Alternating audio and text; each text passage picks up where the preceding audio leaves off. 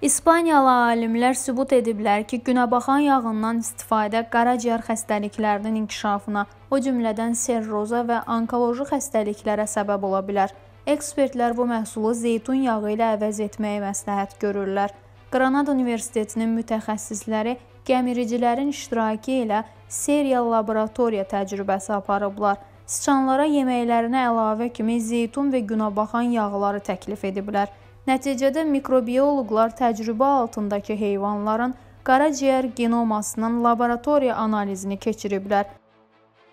Günəbaxan yağı sərf edən siçanların qaraciyər hüceyrələrində ultrastruktur dəyişikliyi aşkarlanıb ki, bu da qeyri-spirtli steatohepatitlərin inkişafını yüksəldib. Ekspertlər bunu qeyd ediblər. Bu zaman yağlı distrofiya xəstəliyi inkişaf edir. İltihab və hüceyrə quruluşuna ziyan dəyir. Nəticədə qaraciyərin patoloji dəyişmələri, serroz və onkoloji problemlər baş verir.